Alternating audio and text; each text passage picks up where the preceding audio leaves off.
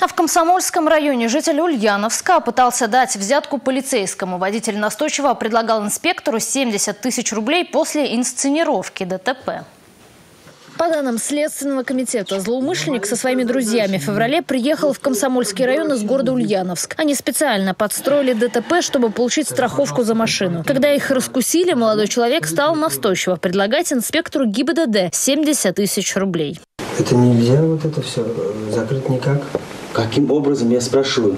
Это стираться же может. Это же запись, любая запись, она стирается же.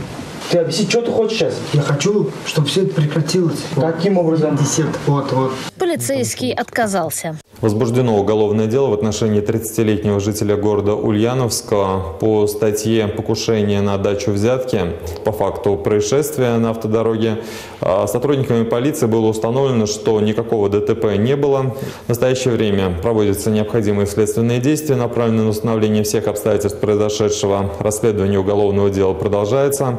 Отмечу, что э, за такие деяния предусмотрено наказание Уголовным кодексом э, в виде штрафа э, в размере до полутора миллионов рублей, либо до восьми лет лишения свободы.